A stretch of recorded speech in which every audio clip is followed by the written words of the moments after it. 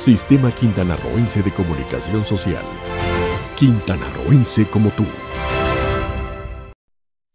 La educación ambiental ha sido definida como la acción educativa permanente por la cual la comunidad educativa tiende a tomar conciencia de su realidad global, del tipo de relaciones que los hombres establecen entre sí y con la naturaleza, de los problemas derivados de dichas relaciones y sus causas profundas. Esta se desarrolla mediante una práctica que vincula al educando con la comunidad, valores y actitudes que promueven un comportamiento dirigido hacia la transformación superadora de esta realidad, tanto en sus aspectos naturales como sociales.